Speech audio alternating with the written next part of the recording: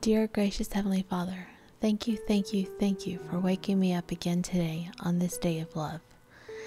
As I open my eyes to greet this new day, I am filled with gratitude for the love that surrounds me. Thank you for blessing me with the gift of love in all its forms the love of family, friends, and most importantly, the opportunity you have given me to give and receive the love of my late husband.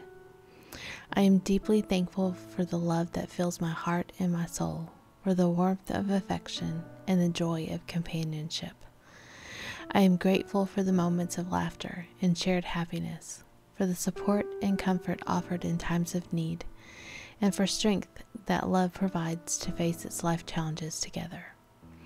Today, I ask for guidance and wisdom as I strive to increase the value of my love bank account. Help me to nurture and cherish the love that I have, to invest it in it with kindness, compassion, and understanding. May my actions be a reflection of my heart and of my love, and may they deepen the bonds of affection and intimacy in my relationships.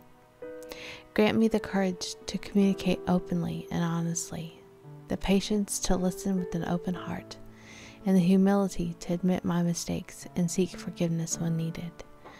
Help me to prioritize the well being and happiness of my family, and to show them the love and appreciation they deserve each and every day.